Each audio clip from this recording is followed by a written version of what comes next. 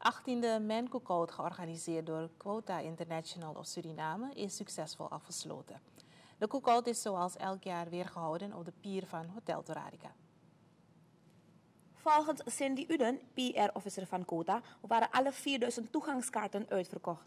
Zo ook de vele gerechten klaargemaakt door de 200 koks, die duidelijk in de smaak zijn gevallen bij het publiek. Ook de kinderen hebben kunnen genieten van de vele attracties, zoals sminken en kregen ze ook een kerstmutsje. Quota International of Suriname is blij met de inkomsten van dit jaar.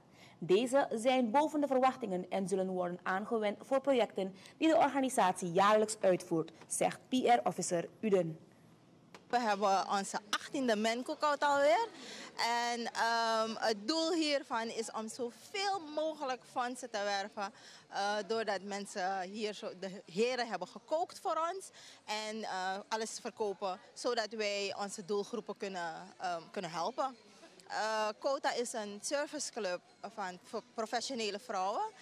En onze doelgroepen zijn kinderen met een beperking, kinderen, jongere vrouwen achterstandssituaties en seniorenburgers. En met de fondsen die we hier zo kunnen ophalen, hopen wij uh, deze doelgroepen te kunnen helpen. Cindy Uden, PR-officer van Quota International of Suriname. De projecten die deze organisatie uitvoert zijn onder andere Stuka Prisiri, het uitdelen van moederdagpakketten en Bigisma Day. In 2017 viert Quota International of Suriname haar 20-jarig bestaan.